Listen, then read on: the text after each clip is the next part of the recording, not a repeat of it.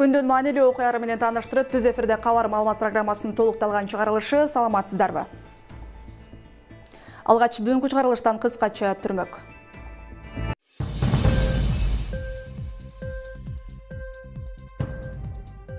Абал курчуп жатат илдетти жуктургандардын саны көбөйүп оорунун туу чокусуна жетти ошто төрөтү үйдөгү обсервациядагылар башка жайга көчүрүлдү кечээ алар өз талаптарын коюшкан. Чоң муштум кызматкерлер жол кыймылынын коопсуздугун көзөмөлдөө менен чек ара кызматынын аскери катышкан чатак бишкектин вице мэри менен укмкнын кызматкери эмне талашты ысык көлгө барган туристтерге эч кандай тоскоолдук жаралбайт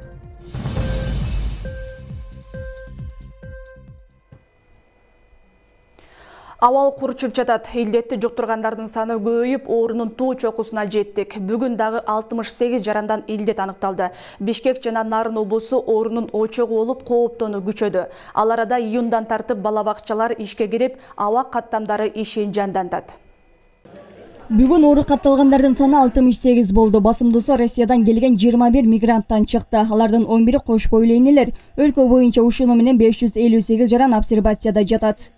Бишкек шаарында тогуз ош шаарында эки чүй областында беш учур табылды нарын областында төрт учур болуп баткен областында бир учур чыкты. Россия федерациясынан келген курсанттардын арасынан жыйырма алты учуру табылып чыкты.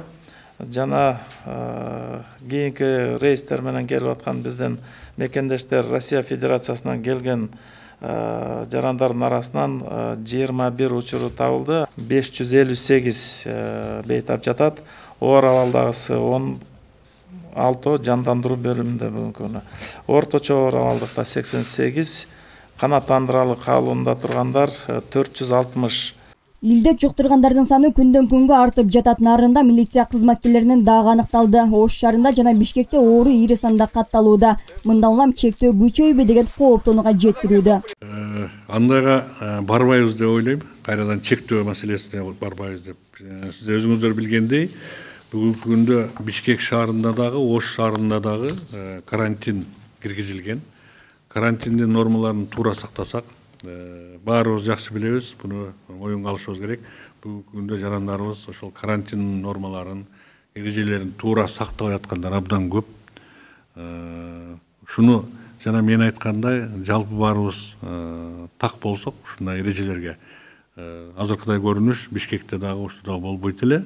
Маданий массалык оюндар жакында болбойт. Аны менен катар азырынча кичи автобустар менен шаар аралык каттам жүргүзүүгө дагы уруксат берилбейт. Биринчи вице премьер министр кубатбек боронов бул бир нече сааттап жол жүрүүдө илдеттин жайылуу коркунучун алдын алууга негизделип жатканын билдирди. Өндүрүштөрдү ишке киргизүү менен бизде оорунун тароо же болбосо оорунун бири бирине жугуу коркунучу жогорулагандыгын баарыбыз түшүнүп турабыз катталып жаткан бейтаптардын басымдоосу жашырып үй шартында даарыланып качан гана оорлошкондо гана кайрылып жаткандар мындан штаб өз убагында илдет боюнча кабар берүүгө чакырды бул дагы бир жолу ушул социалдык дистанцияны кармай турганды дагы бир салып кетет элем ушул кичине алысташыбыз керек.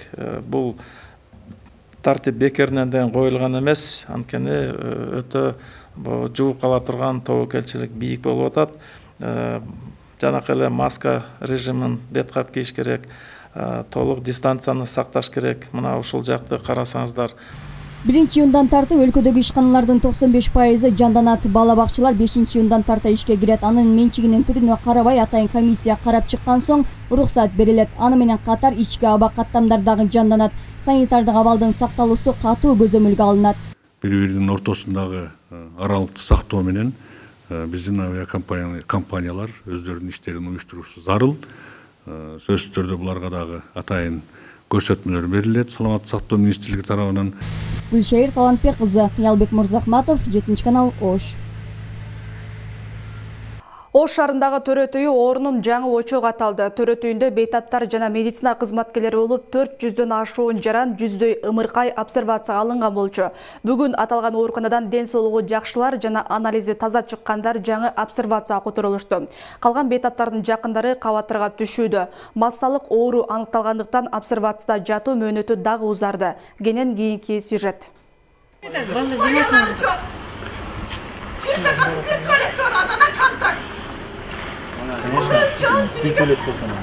Bir tuvalet bir duş yok şey. Врачтар формадан жүрөт, маска киіп атат, анын сыртынан дагы киіп атат, кабат кабат кийинип атышат. Биз мынандай жүрөбүз. тасмадагы ош шаарындагы төрөтканада обсервация шарттарына нааразы болгон элүүдөй эне алар ооруканага төрөт үчүн келип мекемеден илдет чыккан соң булар дагы обсервацияга алынышкан. Кече күнү бул жайдан массалык илдет аныкталган. Жагдай мындагыларды ого бетер кооптондуруп бир имаратта болгондуктан алардан оолак жайга алып баруу талабын коюшту. Күндө бизди алдайт, ушинтип топтосок врачтар күндө ертең чыгасыздар, ертең чыгасыздар деп албай атат. Мына кече 15 аял чыкты, 15 жылынын жарымынан баласы жарымынан аялдар деп чыкты. Баласында болсо апасында эмнеге жок? Апасында болсо баласында эмнеге жок? Баласында жугуш керек беле? Жугат да, конечно, баласын өп жыттап атат, кандай баласында жок? Жок эле бир да аял ооруган жок, бардыгы таптаза чыкты. Бир да аял ооруган жок, температурада болгон жок, жөтөлгөн да жок. чүчкүргөн да жок эч нерсе болгон жок ошентсе деле алып кетип калышты аларды ыйлатып эле баласына жугат эле деп ойлойм ош шаардык төрөт үйүндө жалпы төрт жүз жыйырма эки адам обсервацияга алынган алардан алтымыш төртү изоляцияда дарыланып жатат жогорудагы талаптан кийин бүгүн анализи таза чыккандар жана ден соолугу жакшылар бардык шарты бар обсервацияга которулган медициналык жардамга муктаж бейтаптар болсо төрөтканада калтырылды кечээ эле биз ошол шарты бар толук шарты бар. Клиникаларга ошол жердеги жаңы төрөгөн энелерди балдары менен чогуу ал жердеги медицина кызматкерлерин обсервацияда жаткандарды башка ошол толук шарты бар клиникаларга обсервацияга алдык.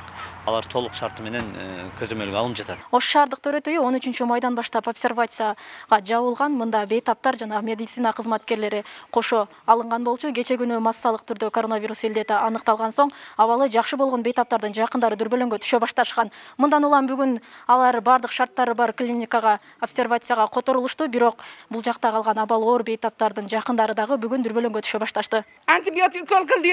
Баласын өлүп калды деди. Эне бопту деди, өлүп калган болсо Алладан келди, өлүп калды деп тек коп койдук.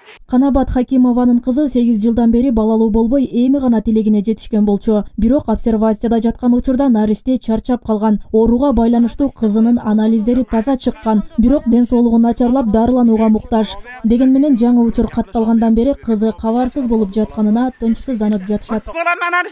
Антибиотик берип неберем чарчап калыптыр мейли бул оорулар аллахтан экен мен кызымдын абалын эле билейин деп жатам. Эс учун жоготуп реанимацияга төштү дешет. Аныгын билели десек мынтип тосуп коюшкан же маалымат бербейт. Мындагылардын талабы жок дегенде жакыныбыздын абалы кандай билсек видео аркылуу байланышып көрсөк дешет.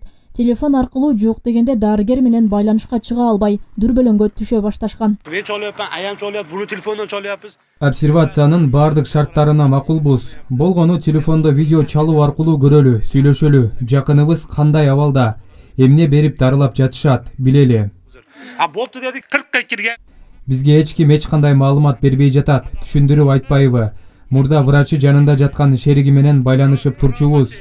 Алар башка жака чыгып кетиптир нема кылышыбыз керек ош шаардык төрөт үйү он үчүнчү майдан бери карантинге алынган ал күнү он үч бейтаптан коронавирус чыккан ошондон бери эки жүз сексен эки кызматкерден жүз кырк беш энеден жүз сегиз ымыркайдан пцр анализдери алынган. Алардан тышкары жыйырманчы апрелден бери төрөп үйлөрүнө чыгып кеткен жүз алтымыш эки эне да анализ тапшырган. жыйырма алтынчы майда төрөтканада иштеген жети медициналык кызматкерден вирус табылса жыйырма сегизинчи майга караган суткада отуз төрт адамдан бул илдет табылган. Мындан улам обсервация мөөнөтү дагы узарды.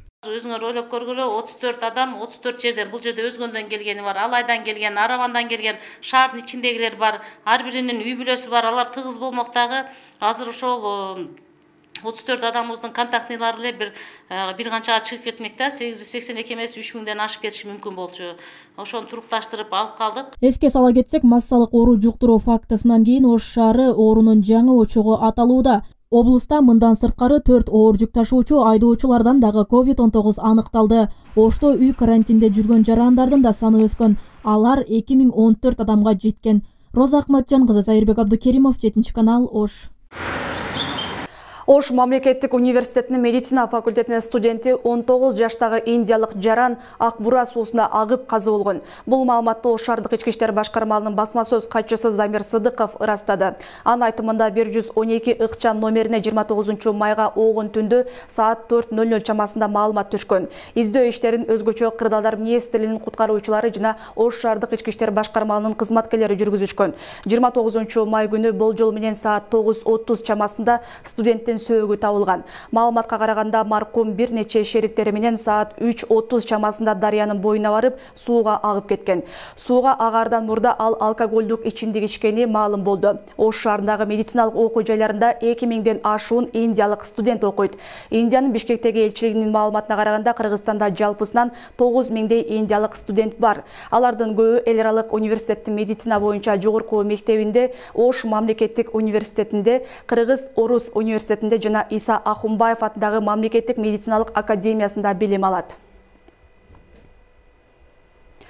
жол кыймыл коопсуздугун көзөмөлдөө башкармалынын инспектору менен мамлекеттик чек ара кызматынын аскери катышкан чатак боюнча кызматтык иликтөө башталды. Бул тууралуу мамлекеттик чек ара кызматы кабарлады. Ош облустук ички иштер башкармалынын басма сөз кызматы тараткан маалыматка ылайык окуя жыйырма алтынчы май күнү саат жыйырма эки ноль ноль чамасында ош сары таш эркештам жолунда ташкоро санитардык карантин постунда болгон. Ага ылайык жол тартибин көзөмөлдөөчү инспектор бмв үлгүсүндөгү автоунааны токтоткон кезде экөөнүн ортосунда пикир келишпестик пайда болуп айдоочу автоунаасы менен инспекторду сүзүп кетип калган.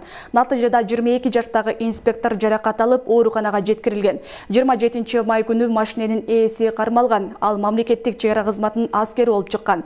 Бул иш жоруктар кодексинин эки жүз алтымыш алтынчы беренеси ээн баштык боюнча бирдиктүү реестрге катталып сотко чейинки өндүрүшкө алынган. Жыйырма сегизинчи май күнү алай райондук соту кармалган чек арачынын бөгөт чарасын карап аны үй камагынан чыгарган.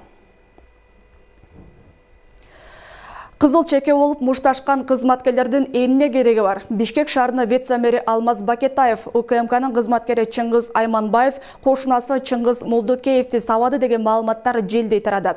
Бирок вице мэр айтылган маалыматтарды төгүндөп билдирүү тараткан бишкек шаарынын тургуну чыңгыз молдокеев бишкек шаарынын вице мэри алмаз пакетаев улуттук коопсуздук мамлекеттик кызматынын кызматкери чыңгыз айманбаев сабап кеткенин айтып чыккан кичинекей балдардын араздашуусунан улам укмкнын кызматкери жана бишкектин вице мэри аралашкан урушта бишкек шаарынын жараны чыңгыз молдокеев ооруканага жаткырылды. Азыркы учурда териштирүү иштери уланууда. Бирок бишкек шаарынын вице мэри эч кандай мушташпаганын айтты таркаган маалыматтар туура эмес жарыяланып анын кызматтык ишине көлөкө түшүрүп жатканын айтат. Ал эми чыңгыз молдокеев менен чыңгыз айманбаевдардын араздашуусу балдарына болушуудан келип чыккан. Анан эптеп бирөөнү ажыратам деп ошо эшикке чыгарып ошо мен акырын ажыраттым экөөнү ошондо бирөөнүн ошо башында айтып кетейин мындай ушул жана жазган кичине мындай агрессивный экен да өзүчү мындай провокация кылып мындай өлтүрөм дегендей аябай эмелер көп болду да сөздөрчү. Мына анан ошо эшикке чыгышты. Экөө токтото албай өзүн өзүн анан мен ошого карап айттым кой милицияны чакырышат деп охрананы чакырып корона охранасын милиция телефон чалдыртып милицияны чакырганбыз и начали здесь драку. У алана папы был был нож? Эки баланын атасы мушташа кетти. Бир баланын атасынын колунда бычак бар болчу. Анан экөө жаңжалдаша кетти. Уруштан соң алар көчөгө чыгып кетишти. Бир маалда милиция кызматкерлери келип жаңжалды жайгарды. Она начала их вот так вот за уши тянуть? Эки бала урушуп андан соң балдардын ата энелери уруша кетишти. Мушташкандардын бирөөсүнүн колунда бычак бар болгон. Жана бирөөсүнүн атасы мас абалында болгон. И алана папа был тогда пьяный еще улуттук коопсуздук кызматы өздөрүнүн кызматкери катышкан уруш боюнча эч кандай маалымат берген жок. Ал эми ленин райондук милициясы окуя боюнча сотко чейинки иликтөөнү баштады. Ал боюнча немеге чалсаң буудга чалсаң мбдга ошолор маалымат берип атат. Айыпталып жаткан чыңгыз айманбаев эки миң он алтынчы жылы медициналык академиянын аппарат жетекчиси абдыкерим гапаровдун өлүмү боюнча айыпташкан үч кызматкердин бири болгон. Алар пара алып кармалган гапаровдун жакындары аны өлүмгө жеткирген деген доону коюшкан. Бирок үч кызматкерди сот актаган. Сапар акунбеков азиз самарбеков жетинчи канал бишкек коопсуздук кеңешинин негизги багыттарынын бири коррупциянын тамырын кыркып мамлекеттик структуралардын ачык айкын иштөөсүн камсыз кылуу. Деген менен жогорку кызматтарда иштеген кызматкерлердин ар кандай коррупциялык иштерге аралашканы пара алуу менен кармалгандардын аягы тыйылбай келет. Буга чейин бир катар маалымат каражаттары калича умралиева пара алып жатып кармалганын жазышкан. Жогорудагы видеодо умралиева ага карата эки жүз отуз жетинчи берене коммерциялык сатып алуу боюнча кылмыш иши козголгондугун айтууда. Умралиеванын кабинетин улуттук коопсуздук мамлекеттик кызматы тинтүүгө алышкан. Калича умралиеванын жактоочусу эрик рыскулбеков ал маалыматтар чындыкка дал келбегенин айтып кабинеттен атайын белгиси бар акча табылган эмес деп билдирүүдө Вымогательства не было. Вот. Э, Калича Хусейновна э, ни у кого деньги не вымогала. У нее никаких э, меченых денег не обнаружено. Вот. Сейчас она по делу проходит свидетелем. Бул иш боюнча умуралиева улуттук коопсуздук боюнча мамлекеттик комитетине үч сааттан ашык сурак берип чыкты ал күбө катары ынтымак паркында ишкердик жүргүзгүсү келген тажибаев аттуу жаранга ижарага орун берүү иши боюнча суралганын билдирди а вся сумма которая была до этого двести тридцать четыре тысячи сомов мы сегодня поместили в банк. Ынтымак паркында велосипедтерди ижарага берүү боюнча коммерциялык түйүн ачкысы келген. Июнь айында жыйырма беш миң сом төлөө керек эле бирок тажибаев эки айга элүү миң сом төлөгөн келишим алдын ала төлөм алууга жол берерин жана ага карата кылмыш иши ачылгандыгын негизсиз экенин билдирген омуралиеванын өзү менен байланышууга мүмкүнчүлүк болгон жок бизге жеткен маалымат боюнча аталган окуялар тергөөнүн кызыкчылыгы үчүн кол коюп сыр сактоого кепилдик берген. Коррупцияға күреш бойынша тоқтату бойынша абдан жақсы шарт түзілді. Бирок сот бийлигинде аткаруу бийлигинде чечкиндүү кадамдар чечкиндүү тазалоо процесстери жакшы жүрбөй атат президент коррупция менен күрөшүүдө жемкорлордун статусуна ээлеген кызматына карабай күрөш жүрөрүн айткан. Бирок мамлекеттик кызматта отуруп акча жасагандардын аягы тыйылбай келет. Маселен экономикалык кылмыштарга каршы күрөшүү боюнча мамлекеттик кызмат транспорт жана жол министрлигиндеги коррупциялык схеманы ачыктаганын билдирди. Анда бишкек ош унаа жол дирекциясынын кызматкерлери эки миң он сегизинчи жылдын биринчи декабрынан эки миң жыйырманчы жылдын биринчи мартына чейин мыйзам бузгандар мамлекеттик бюджетке он миллион сомдон ашык зыян келтиришкен бул бир эле өткөрмө бекеттен түшкөн акча акчаны жасаган булагы бул жерде передвижной весогабаритный контроль деген бар да. Кичинекей таразаларды машинеге салып алышып анан каалаган жерде машинени токтотуп ошол таразага тартат ал жерде дагы канча акча түшкөнүн каяка кеткенин эч ким билбейт аталган иш боюнча кылмыш кодекстин токсон сегизинчи беренесине коррупцияга ылайык иш козголуп дирекциянын үч оператору кармалган учурда финпол атка минелерден бул ишке кимдин катыштыгы бар экендигин тактап жатыптыр прокуратурага прокуратурага кайрылсаң сразу прокурорлор айтышат фактыны давай факты керек дейт а факты биз мисалы бирөөнүн колунан кармап алганда бизде факты жок бизде шопурлардын айтканы мынча акча берип атабыз андай кылып атабыз мындай кылып атабыз бизди мажбурлап атат деген эле сөздөр да ошон үчүн биз прокуратурага бере албайбыз. Эске салсак өткөрмө бекеттердеги жемкорлукту жоюу үчүн дүйнөлүк банк кол сунуп кемин районундагы өткөрмө бекетке автоматтык түрдө унаалардын жүгүн эсептөөчү заманбап техниканы беришкен. Долбоор боюнча ал кыргызстандын бардык аймактарына коюлмак. Эксперттердин айтымында транспорт министрлигиндеги коррупциялык схеманы түзгөндөр эскиче иш алып барып өткөрмө бекеттердеги автоматташтырууну атайылап кечиктиришүүдө. Айжигит матраимов азиз самарбеков жетинчи канал бишкек Жогорку кеңештеги Кыргызстан фракциясынын жыйынында депутат Канатбек Исаев өкмөттү Бишкек эркин экономикалык аймагын көзөмөлдөй албай жатат деп сындады. Ал мамлекетке акча түшпөй жатканын, штаттык орундар ыксыз көбөйтүлүп жана аймакта тендерсиз курулуштар жүргүзүлгөнүн, мыйзамсыз иштер орун алып жатканын айтты. Бишкек эркин экономикалык аймагынын жетекчиси Дүйшөн Исраилов депутаттын айткандарын четке какты. Ал кызматка келгенде штатты 600 кишиден 300гө кыскартканын айтты.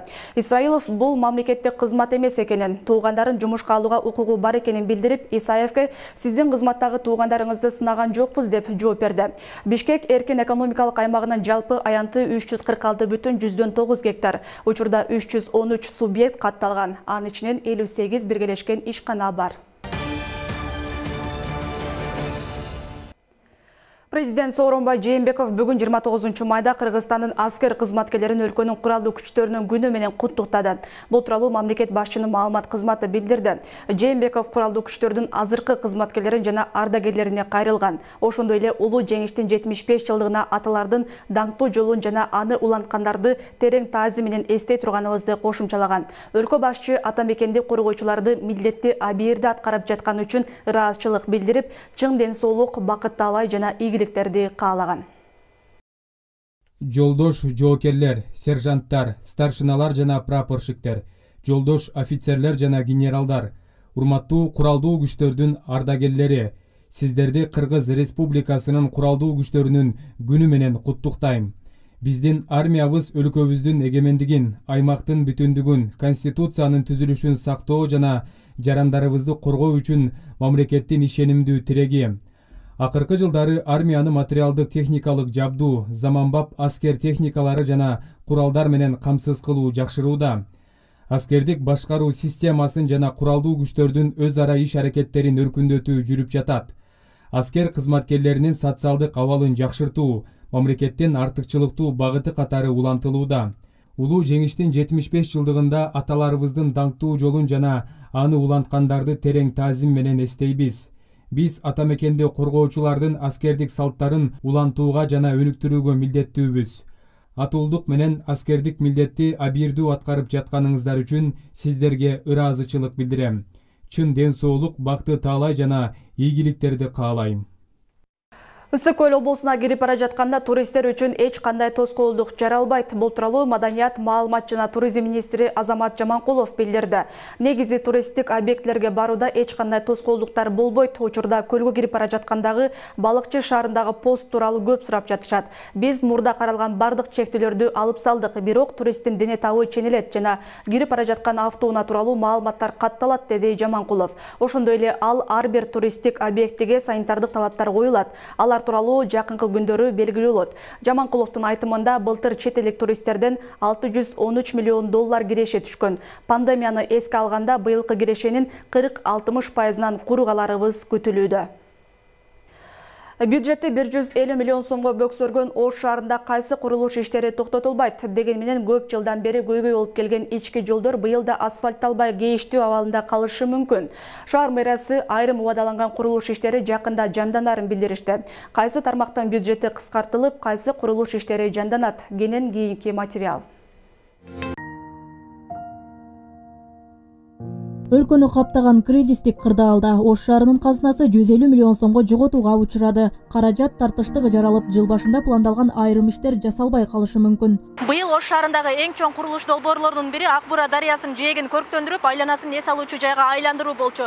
Кырдаалга байланыштуу курулуш иштери кечеңдеди бирок сөзсүз аткарылмай болуп турат учурда тендер маселеси толук чечилип жакынкы бир айда капсуласы салынмакчы учурда ак бура дарыясынын жээгиндеги айрым мыйзамсыз курулуштар сүрүлө баштаган тендердик наркы эки жүз элүү бир миллионго бааланып капитал курулуш компаниясы алган долбоордун көпчүлүгү республикалык бюджеттен каржыланат мына ушул жерде эле кармалып калбаса жергиликтүү казынадан алтымыш төрт миллион бөлүнүп маселе толугу менен чечилген дешет. Толугу менен бүгүнкү күндө архитектуралык иш кагаздарын бүтүрүлгөн. Бүгүнкү күндө мына капсула салуу аземинин алдында турабыз тоже там э, каржылоо булагы там республикалык жана жергиликтүү бюджет болгон.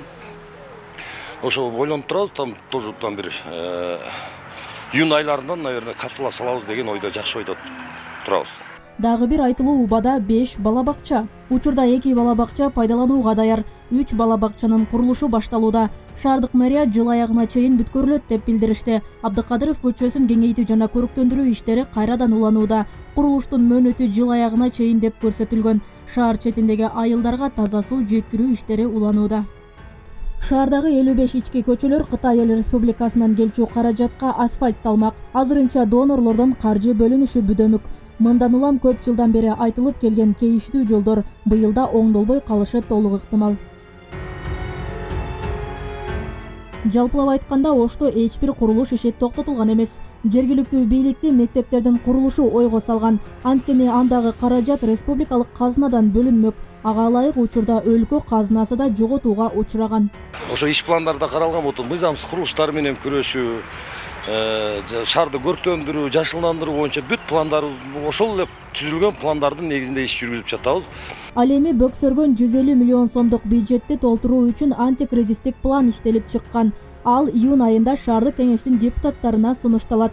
Анда төмөнкү тармактарга бөлүнгөн каражаттар кыскартылган мектеп жана бала бакчалардын коммуналдык төлөмдөрү тамак ашына бөлүнгөн каражаттан отуз алты миллион сом чаралардан сегиз бүтүн ондон үч миллион алай футбол клубунан үч миллион нооруз жана тогузунчу майга карата иш чарадан бир бүтүн ондон үч миллион сом жаштар жүз отуз миң сом жалпы элүү бүтүн ондон бир миллион сом үнөмдөлүүдө ошол антикризис программаны биз бүгүнкү күндө көзөмөлгө алып негизинен ошол пункттар аткарылып жаткандыгын белгилесек болот мисалы жергиликтүү бюджет боюнча биз ошол бюджетти карап чыгып дайыма мониторинг жүргүзүп атабыз эсептеп атабыз. Ушул июнь айынын жыйынтыгы менен биз бюджетке өзгөртүүлөрдү толуктап шаардык кеңештин кароосуна киргизебиз. Эске сала кетсек ош шаарынын бюджети бир миллиард үч жүз жыйырма беш миң сомго чыккан. Учурда бюджет жетимиш пайызга гана аткарылып жатат.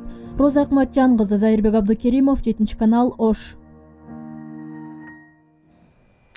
Гиннестин рекордтор китебинин расмий сайтындагы маалыматка караганда кыргызстандык хирург коомдук ишмер мамбет мамакеев дүйнөдө өз кесибин менен эң узак иштеген адис деп табылды. эки миң жыйырманчы жылдын жыйырма тогузунчу февралдагы эсеп боюнча анын хирургдук карьерасы алтымыш жети жыл бир жүз сексен бир күндү түзгөн. Мамбет мамакеев бир миң тогуз жүз жыйырма жетинчи жылы биринчи октябрда ысык көл облусуна караштуу ак суу районундагы кереге айылында туулган иш тажрыйбасында отуз миңдей операция жасаган мамбет мамакеев азыр ишин улантып келатат. Кыргызстандын улуттук хирургия борборунун ардактуу директору. Бул борборго хирургдун аты берилген. Ага эки миң төртүнчү жылы кыргыз республикасынын баатыры наамый кайрылган. Сссрдин жогорку кеңештин экинчи жана төртүнчү чакырылыштарынын депутаты. Кыргызстандын хирургиялык коомдор ассоциациясынын президенти. Илимдин он беш докторун жыйырма алты кандидатын тарбиялаган. Негизги илимий эмгектери өт ооруларын дарылоо өттөгү ташты хирургиялык жол менен алуу ыкмаларын камтыйт жараксыз темирден мээздүү бычак жасоого болот. Темир устачылык менен алектенген алыкул валеевдин колунан далай бычактар жасалган. Жарактан чыккан бычактарды колдонууга кайтарат. Көпкө чейин чыдамдуу сабын топоздун мүйүзүнөн жасайт. Кол өнөрчү инсандын эмгектери боюнча кийинки сюжет